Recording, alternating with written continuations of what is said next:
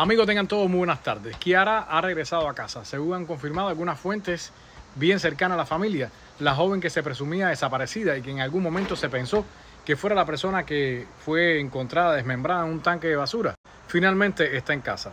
Sin más detalles, la chica se conoce solamente que está bien de salud y que ha regresado. No se han explicado las causas de su desaparición y aunque hay conjeturas, nadie ha preferido hablar. Por otra parte, a las tensas, y yo sí te creo Cuba, ha confirmado que la joven que fue asesinada y desmembrada ha sido Liané Núñez, quien vivía en Santiago de Las Vegas anteriormente de mudarse a La Habana Vieja y quien habría desaparecido en los mismos eh, momentos y circunstancias que la otra chica Kiara habría estado ausente de su hogar. La policía sigue investigando y no se ha reportado ninguna persona detenida con relación a este asesinato.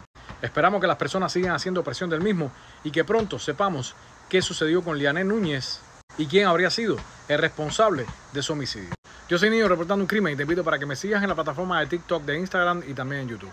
No dejes de presionar a las autoridades de la dictadura para que conozcamos quiénes son los responsables del crimen y desmembramiento de esta chica.